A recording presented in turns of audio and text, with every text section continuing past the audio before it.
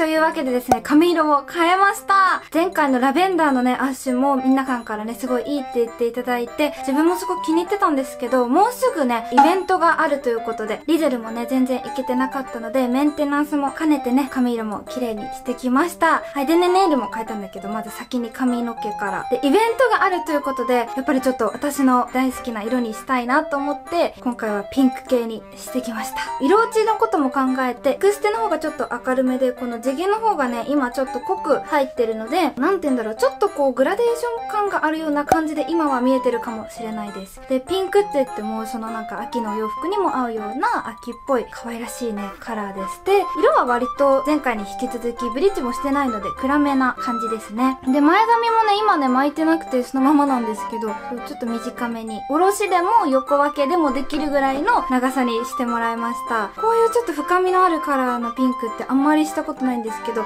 秋っぽくて、でね、とっても可愛いです。自然光に当たるともうちょっとこうピンクが透けて明るい感じにも見えたりとかするので、そのなんかね、光の加減によって色が変わるのも結構気に入ってます。美容院帰りだからね、ツヤツヤです。そしたら続いてネイルネイルもね、今回私の大好きなピンクにしてきました。前回結構割とシンプルで、フラットで、チェック柄と、あと薄いね、ピンクをね、こう混ぜて作ってもらったんですけど、今回はもう私の大好きなピンクピンクなネイルにしてきました。このネイル決める時のゆうみさんと私のなんかやりとりが、チアンプルンって感じでオッケーみたいな、もうなんて言うんだろう、言葉で言わなくてもその擬音だけで伝わるネイルっていうか、付き合いが長いので、もう本当に、この辺とかちょっとポヨンってしとくねとか、あ、この辺ちょっとポンポンって感じしたかったみたいな、あ、なんかそんなんで伝わるから、もう本当に面白いなと思って。そう、カズさんもね、そうだけど、本当にこう細かく説明しなくても、私の好みだったりとか、したい雰囲気とかをね、こうやってくれるので、そんなラフな感じでいつもね、伝えてるんですけど、今回もポヨンって感じでとか、プルンって感じでとか、かなり擬音多めで、他のね、お客さんからしたら、あの人は一体何を言ってるんだみたいな感じにね、聞こえるような会話だと思うんですけど、そういう言葉のニュアンスだけで伝えて、とっても可愛いネイルになったので、じゃあね、紹介していきたいと思います。なんか持ってやればいいのかななんだろう。もう血のりぐらいしか